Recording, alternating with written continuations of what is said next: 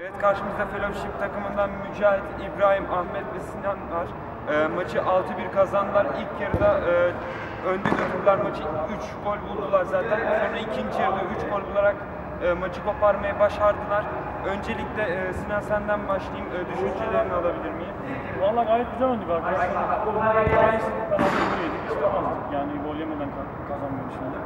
Ama yine de kutlarım arkadaşlarımı. Herkesin ayağına E, teşekkürler Ahmet. Güzel bir maç oynadık karşı tarafta.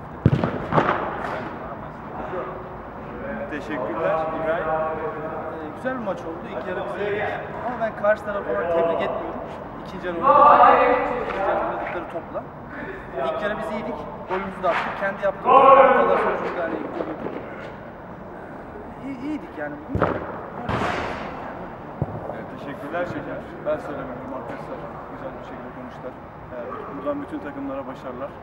Kadar. Teşekkürler, iyi akşamlar. İyi akşamlar.